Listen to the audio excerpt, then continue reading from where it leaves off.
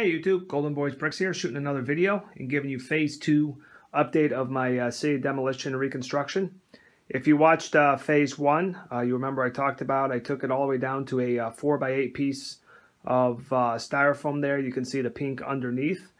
And I put up all my modulars all there lining one side of the street.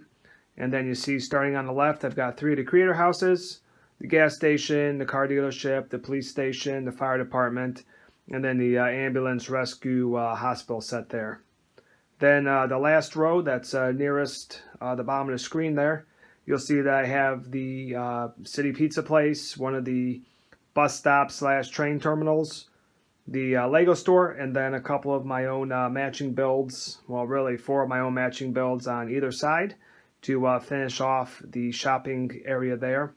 Then further on on the left, I have all the 3-in-1 modulars that have come out over the last couple years. And then finally, the train station right there on the very uh, corner on the left-hand side. And then I filled, obviously, the roads with uh, the vehicles that I had. So I won't spend a lot of time on that, but I want to show you what I've done uh, new since uh, our Phase 2 is now uh, completed.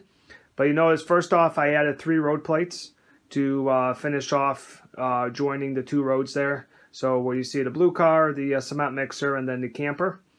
You'll notice I put uh, put the stoplights back in uh, on each corner there. So that helped uh, with traffic control.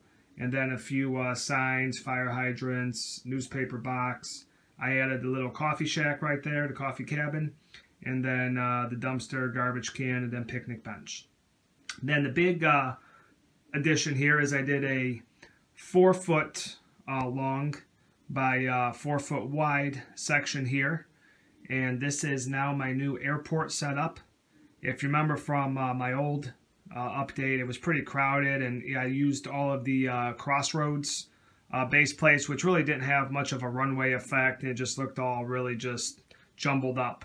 So I actually used my straight row plates because I had so many left over from uh, the condensing that I did in phase one. So you notice I have individual runway, the first one up there for the uh, VIP private plane.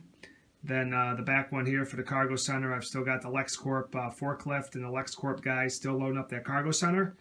Then I still didn't make any changes except I just switched the uh, entry around on uh, the airport in the back, put the limousine there, added the train or a bus stop station right there in the corner the uh, tower from one of the Avengers sets. I did put back up where I had it. And then over on the far right hand side, you'll notice I've got the airport air show hangar, then the two fighter jets, a porta potty, and then really I've just got extra space here if something interesting comes out for any of the other air for airplane air sets, I can add that in. Otherwise, it just really adds some nice negative space to give your eye a break and then the uh, airplane, the airmail plane, helicopter right here uh, on the bottom on the right with a couple minifigures that are attached. So overall, I think if you look at the whole whole uh, city, the whole set, it is much easier to look at on the eyes. Uh, things really make sense, and I feel that it's a uh, very good update. Obviously, I like your feedback, and uh, let me know what you think, or if there's other changes you'd like to see, please let me know. And uh, there's uh, one good pan of the whole entire city.